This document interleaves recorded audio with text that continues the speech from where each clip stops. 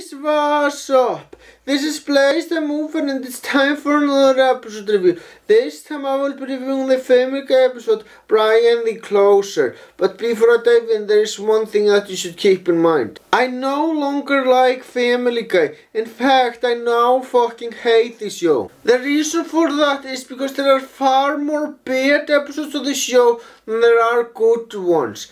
And today I will be reviewing another one of them. So, anyway, without further ado, let's dive in. The episode begins with Brian and Peter watching television, and that's incredibly fucking boring. Nothing of substance to talk about here. Moving on. Anyway, after that boring city tour, Peter Griffin wants to get Brian's robe so badly. Peter, if you want that robe so badly, why don't you just buy a fucking new one that's just like Brian's? I mean, you have a lot of money, so there is no excuse. And then Peter Griffin ties a rope to Brian's robe and drives with it while Brian is chewing on the rope.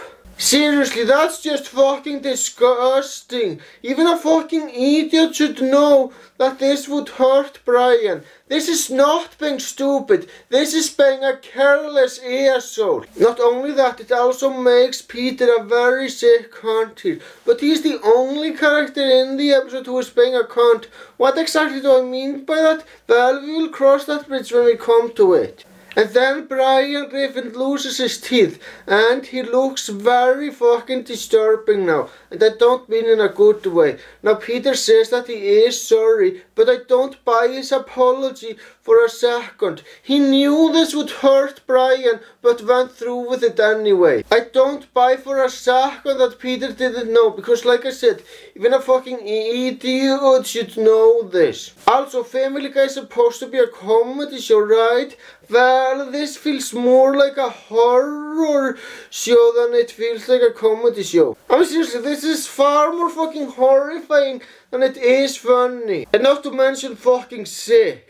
Anyway, Brian asks if he can go to a dentist, but unfortunately, they can't let him go to a dentist because he is apparently an animal. I have a serious question to ask. Why can't Brian just go to a human dentist?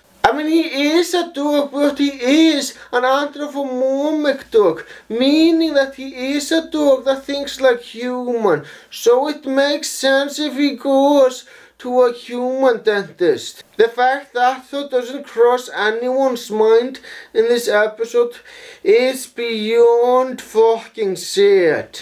Now Glenn Quagmire does get Brian Griffin an appointment at a dentist. Now Brian should be grateful and thank Glenn Quagmire for that, but that doesn't exactly happen. What do I mean by that? Well, just keep this scene in mind, it will become important later. Anyway, Brian Griffin gets new teeth and because of those new teeth, he is fucking qualified to become a real estate agent. And I gotta say, that's beyond fucking awesome. Anyway, Brian does a fucking successful job trying to sell all those houses. And that is beyond fucking awesome. Keep in mind that this is still a bad episode though. A few things about it that are fucking awesome doesn't change that fact. Now Brian's boss asks him to sell a shithole. Okay, why the hell would you wanna sell anybody a shithole? Wouldn't a better idea to be to fucking destroy it? Oh, and Brian is about to use some tactics that really pisses me the fuck off. And then Brian Griffin shows a fails advertisement for a shithole. The fact that Brian Griffin is scamming Glenn Quagmire pisses me off so much. The reason why it pisses me off, well, I will be getting into detail on that later on in this review.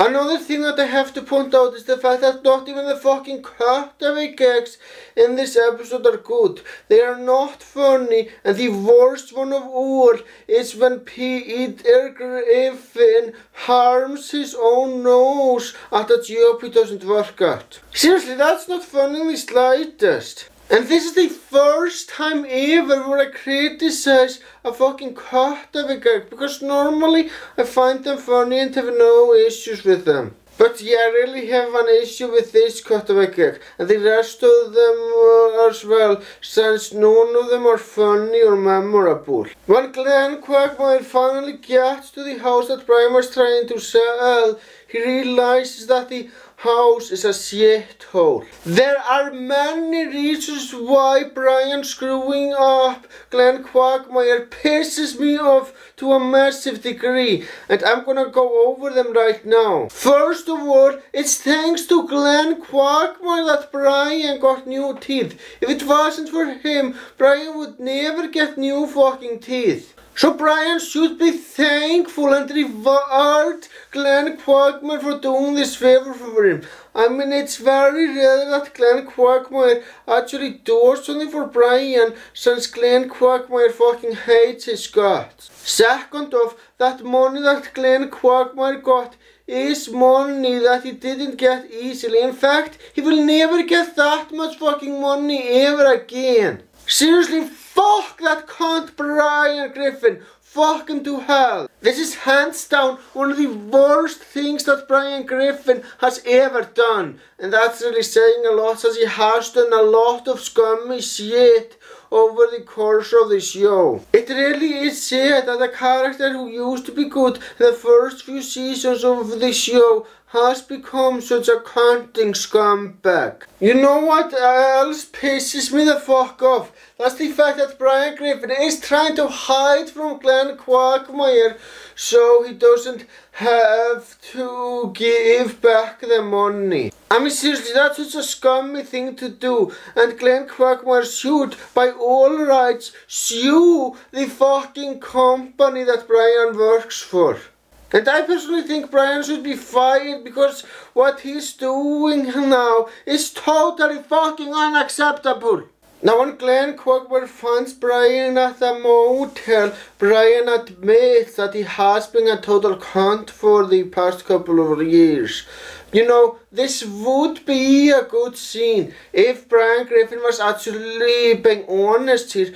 But the thing is, he isn't being honest here at all. In fact, he's only saying that to fucking store. I seriously think that Brian Griffin deserves to be in fucking jail for this scummy action. And then Glenn Quagmire beats Brian up and I gotta say, that is satisfying as all hell. In fact, it's probably my favorite part of the episode because Brian Griffin really fucking deserves to be beaten up after the scummy cunty thing he did throughout the episode. And the episode ends with Brian Griffin being back without teeth. Now I would feel sorry for him, but I don't. Wanna know why? Because he really fucking deserved this. Now in the very next Family Guy episode, Brian Griffin is back with his normal teeth.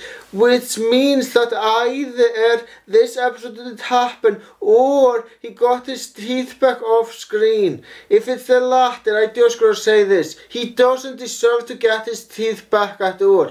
In fact, he deserves to be in fucking jail because what he did to Glenn Quagmire is fucking inexcusable. What a scummy cunt. Now it's time for my overall thoughts. I would say that this is one of the worst episodes of Family Guy, but I'm not sure if I can say that because there are a shit ton of bad episodes of the show. In fact, there are far more bad episodes of the show than there are good ones. What Brian did in this episode is one of the scummiest things that he has ever done. And for that I'm going to give this episode a rating 2 middle fingers. And yeah, I'm officially no longer a fan of Family Guy. In fact, I now fucking hate this show. I don't know why the hell it took me so long to change my opinion on Family Guy. But yeah, I'm no longer a fan. In fact, you can expect a lot more negative reviews coming from me. In fact, I think that's gonna be far more fucking common than positive reviews. Well, guys, that's all I'm gonna say. Thank you for watching. Have a great day.